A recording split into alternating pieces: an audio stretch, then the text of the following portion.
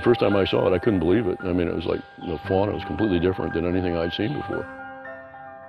When you get eight or 10 species all in a small pool still coexisting, and they're all shrimp or crabs, it's like, well, how do they do that? How do they split up the resources? How do they share things? And so they all have their job, feeding, they're filter feeding, they're taking particles out of the water, they're picking on all of the things that they can feed on.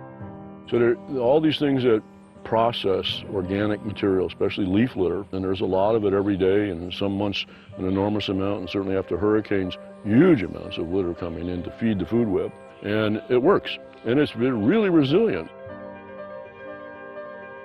If you put out a trap, one of the ways that, that we sample our shrimp, and you pull it up and you see hundreds, literally hundreds in each trap, people's eyes light up and say, oh my goodness, you know, like, that's a lot of shrimp. Yeah, and they're doing a lot of work. The kinds of places where the shrimp like to be are exactly the same places where the people like to be.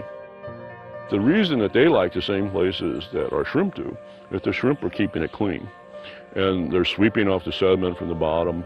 They're turning a lot of that material into their own uh, bodies, and that the shrimp are able to use a lot of things that would otherwise pile up and be kind of slimy and not very attractive to swimmers.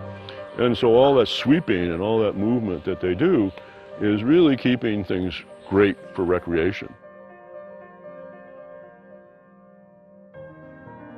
And these shrimp do clean up the water. They're filter feeding out a lot of organic material and turning it into shrimp, which turns into fish food and various other kind of things within the food web.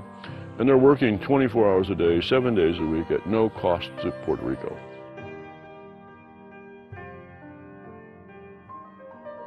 In order for this system to work in the mountains and for water quality to be available and clean to the public outside the forest, outside the mountains, we really have to have connectivity. We have to have a really good way for shrimp to migrate upstream and downstream. Same with the fishes, same with the snails.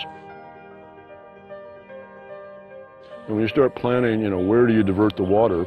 And do you have a dam in the channel or a reservoir off channel?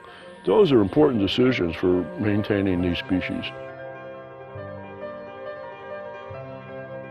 So we're hoping that more and more people appreciate what is living in the river and start to think about, well, how can we keep it that way?